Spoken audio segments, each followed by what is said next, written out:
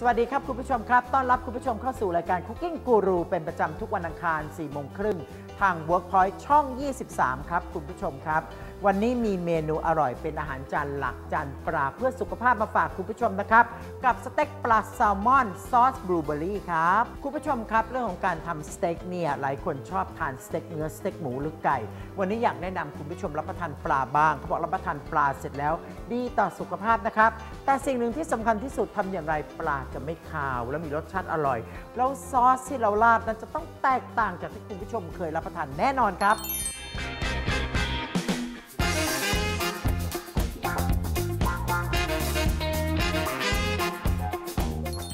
สำหรับสเต็กปลาแซลมอนกับซอสบลูเบอรี่ตำรับนี้ต้องเรียนคุณผู้ชมว่า เราจะต้องไปซื้อปลาแซลมอนที่สดจริง ๆ เนี่ยเลือกมา1ชิ้นสวยงามมีหนังด้วยนะ ไม่ทิ้งหนังแล้วก็จัดการเอาน้ำมันใส่ไว้นิดนิดนี่อุ่นเตาไว้ก่อน อันนี้ก็ควรจะเสิร์ฟสักสองที่นะ เพราะเดี๋ยวเรายังมีของข้างจานอีก เราไม่ควรจะกินเนื้อสัตว์อะไรเยอะแยะขนาดนี้ เครื่องปรุงที่จะทำให้ปลาแซลมอนของเราอร่อยอร่อย วันนี้อาจารย์นิสักเลือกเป็นซองนี้ผงหมัก ไก่สไปซี่บิ๊กวิงปลาโลโบ วันนี้อาจารย์นิสักดิ์จะใช้ซองนี้ล่ะ นิดหน่อยไม่เยอะคุณผู้ชมโรยโรยโรยโรยหน่อยเดียว ทาถูทาถูเห็นไหมคุณผู้ชมก็จะเป็นสีอมส้มส้มชมพูมากขึ้น ตบตบตบตบมันก็จะแบบเข้าไปในเนื้อคุณผู้ชม เสร็จแล้วก็ด้านนี้ก็ทาหน่อยหนึง ไม่ต้องเยอะรูปนิดๆนะคุณผู้ชมนะ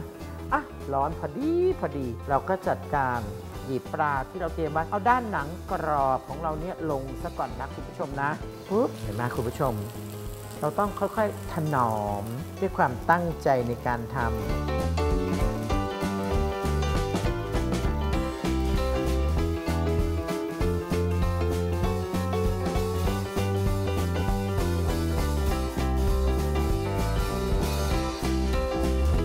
เสร็จแล้วก็จัดการคุณผู้ชม ยกปลาหนึ่งชิ้นของเรามาวางไว้ในจาน เอาละ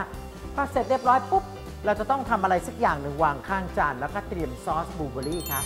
หลายคนก็คุ้นเคยกับมันฝรั่งบด วันนี้จะยิ่งสั่งแนะนำเป็นฟักทอง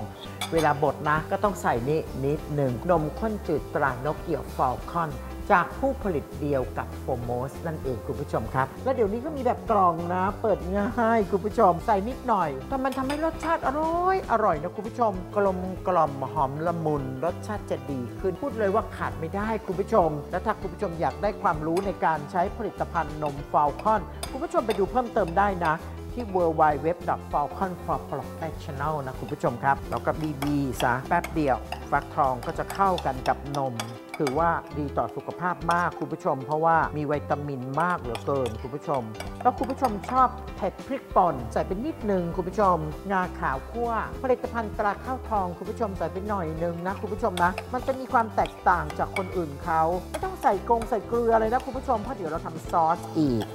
เอาละเสร็จแล้วก็วางข้างๆ ตรงนี้เลยคุณผู้ชมเดี๋ยวรอนะซอสบลูเบอรี่ครับ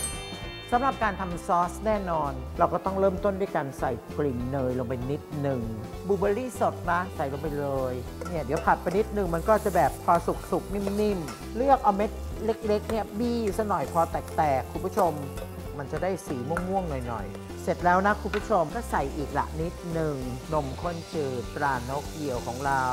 ใส่ไปนิดหนึ่งมันก็จะมีความเป็นซอสมากขึ้น เอาละคุณผู้ชมครับ พอบลูเบอรี่ของเราสุกเราก็จัดการปิดไฟนะ แล้วเราก็ยกหม้อซอสของเรามาคุณผู้ชม นี่ มายองเนสมอลลี่คุณผู้ชม มันไม่มีกลิ่น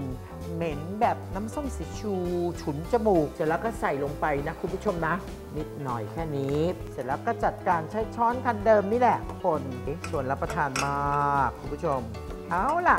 เราได้แล้วเรียบร้อยเป็นบูเบอร์รี่เลย เสร็จแล้วก็จัดการตักราดนะคุณผู้ชมนะเสร็จแล้วก็แต่งให้สวย ด้วยพาสลีย์สักกระจุกหนึ่งนะ คุณผู้ชมนะ อ้ายตายแล้ว นี่ขอโทษนะ ถ้าไปนั่งร้านอาหารแบบสไตล์หรูๆจานนี้หลายบาทนะคุณผู้ชม